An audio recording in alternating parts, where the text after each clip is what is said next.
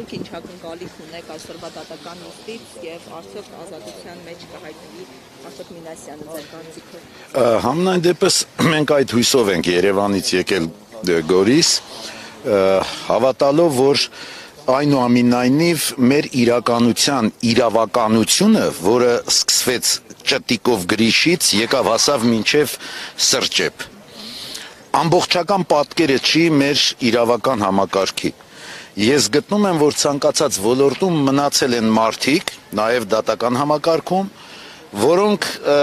ըստ իրենց խղճի, խղճի մտոք կվերաբերեն դատական գործընթացներին։ Ես իրավաբան չեմ, իրավական գնահատականներ տալ չեմ կարող, բայց բարոյական գնահատականներ կարող եմ տալ։ Այն ժողովուրդը, որը իր հերոսին, որը իր ամբողջ գիտակցական կյանքը նվիրաբերել է իր հայրենիքի քաղաքական եւ պատմական ճակատագիրը կերտելուն, եւ նրան ձեռնաշխտաներով պիտի բերեն դատարան, այդ ժողովուրդը հավատացեք իր բարոյականության ուղիղ 50%-ը արդեն կորցրել է։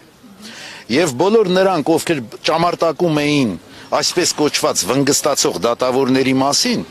այս 3 տարիների, 4 տարիների ընթացքում փակագծերը բացեցին։ Պարզվեց բոլոր այն դատավորները, որոնք մասնագիտական կարողությամբ, բարոյական ըմբռնումներով, օրենքների իրենց իմացությամբ, օրենքների կիրառելու իրենց արեստավարժությամբ հա, համարվեցին վնգստացող դրանք իսկական դատավորներն էին, բազմաթիվ դեպքեր կան, չեմ ուզում հիշատակել, եւ ես հույս ունեմ, որ այդպիսի բարոյական եւ օրինական ըմբռնումների տեր դատավորներ այսօր նաեւ կան այստեղ։ Եվ երբ ավելի ի մոտո կծանոթանան Աշոտ Մինասյանի եւ գործնեությանը եւ այն այսպես կոչված վերագրյալ արարքներին որոնք չեն որևէ կերպ չեն կպչում այդպիսի նկարագիր ունեցող անհատականությանը հուսով եմ որ դատարանը պիտի կայացնի արդարացի դատավճիռ իսկ արդարացի արդարացի դատավճիռը իմ ըմբռնմամբ գոնե դա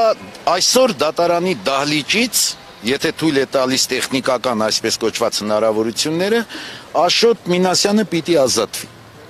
Եվ դրանից հետո պիտի սկսվի այն դատավորների ապաշխարանքի շրջանը, որոնք համարցակվեցին կալանավորման որոշում տալ Աշոտ Երկաթի գործնեությանը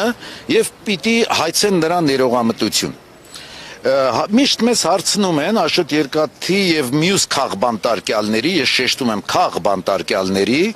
գործով հարցնում են, եթե չազատի դատարանի եւ արդարացի վճիր չկայացնի, ինչ է կանելու։ Ես բառացի իբրև սուբյեկտ եմ հայտարարում, ամեն ինչ են կանելու։ Ընթուք մինչև անհանգստության գործնեություն անհնազանդության գործնեություն ծավալելը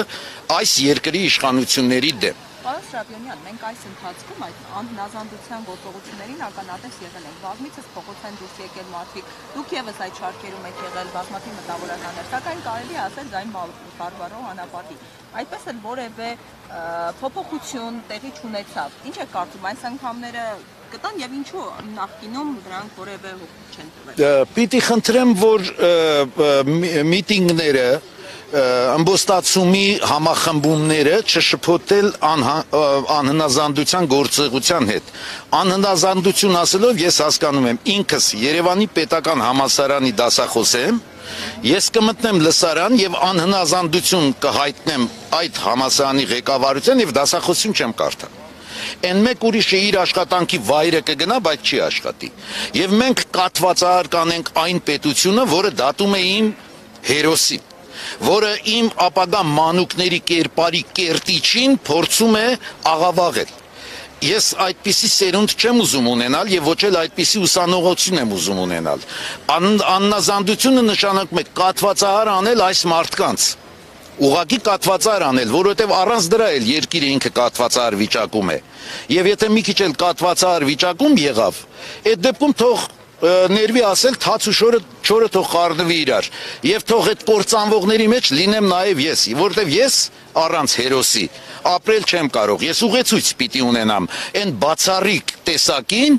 որից ես պիտի սովորեմ եւ կարգավորեմ իմ վարկագիծը եթե իմ վարկագիծը կարգավորելու ուղեցույց չունեմ իմ ապրելը չի գալիս այնպես որ ես հույս ունեմ որ աշոտ երկաթը